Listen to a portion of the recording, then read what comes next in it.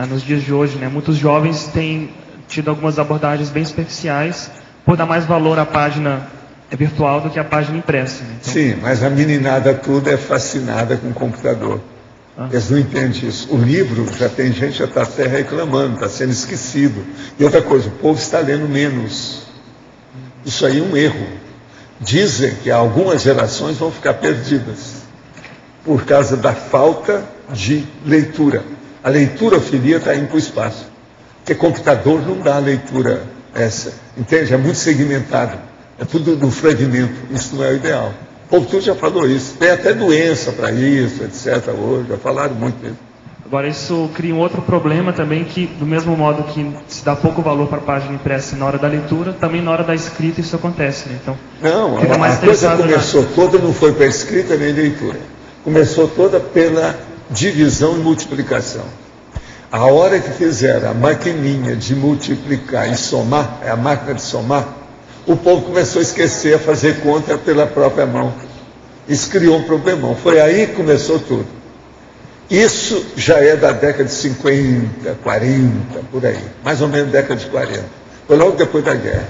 Tá Eu assisti isso tudo. Quando apareceram as máquinas, os caras começaram. Você ia falar, o cara esqueceu como é que multiplicava. 7 vezes 7. Ele... Então veja, o processo da aritmética na questão da soma.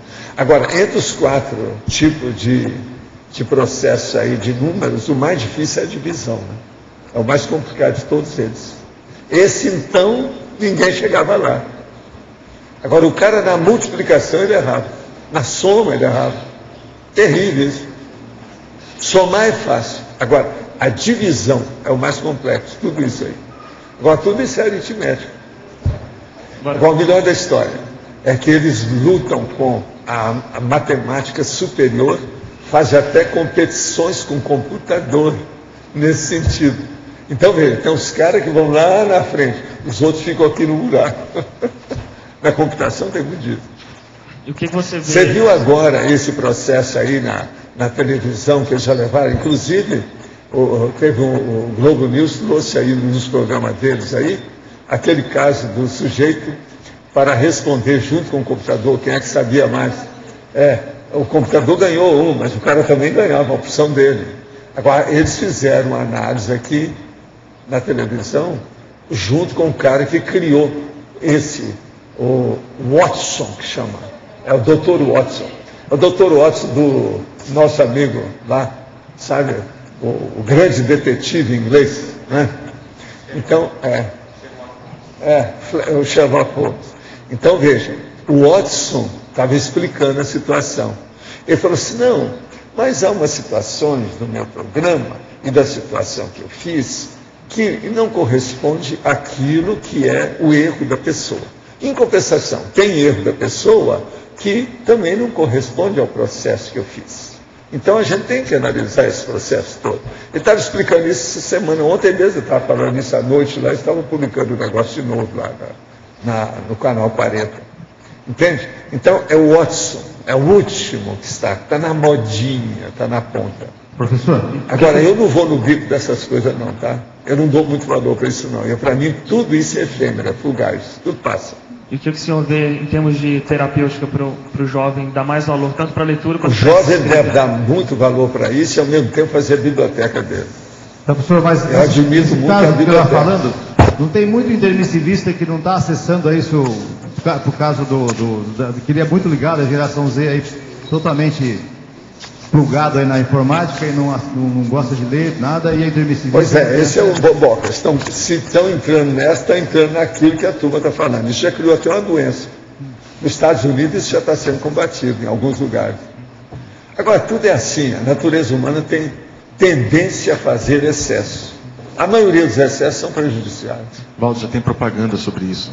Propaganda, é, dois colegas conversando, não, eu não gosto de ler, mas você perde tempo, não, é, internet. Não, é igual o Lula. O Lula é. falou, eu não leio porque me dá azia. Daí a outra. Agora veja, você não lê, você pensa bem, nem folheto, ele nunca leu livro nenhum. Mas então. a propaganda é educacional, no caso, né? Do governo. Então falando, não, é. você tem que ler, nada substitui a leitura. Não, eu sei, eles estão falando. Agora, uma vergonha também é que o governo agora quer passar todo mundo, quer dizer, sem reprovar ninguém. Isso é Eu acho que essas gerações atuais, muitas vão ficar perdidas intelectualmente. Isso vai criar problema daqui 60 anos, 70 anos, quando os caras caírem em si. Vai dar problema para cada um. Uma pergunta. É, como é que a gente pode encriptar informações, quem está escrevendo o livro, quais informações que a gente pode deixar É o entrealinhamento lógico. É. Como é que você fez isso no, nos seus livros para Ah, isso é você que vai criar o seu código e ver o que quer que você quer. Por exemplo, examina você o que, que você gosta mais. As palavras que você usa mais, a tendência do negócio, o que, que é que você aprecia mais, uma coisa muito boa para você. Coloca aquilo lá dentro, encriptado. Isso, mais tarde, a hora que você pegar, vai fazer retrocognição em você, vai desencadear a retrocognição. Mas tem que ser aquilo que corresponde ao que você sente hoje, que mexa com você. Sim, Entende? interessante. Então, por exemplo, eu posso encriptar e falar: a manga madura é o pudim da natureza, como eu chamo. Pronto. Eu já dei aí o meu processo de consim frutariana. Doce de leite, né? Entende? É. Entende? A coisa muda de figura. Entendi. Tudo isso que a gente tem que ver. Agora, é o entrelinhamento que eu chamo. Agora, o foco disso é a pessoa, na, na próxima vida, ela fazer, ler, fazer o rapport É. e identificar aquilo nela. Né? Agora aí vem o códex sutilíssimos que a gente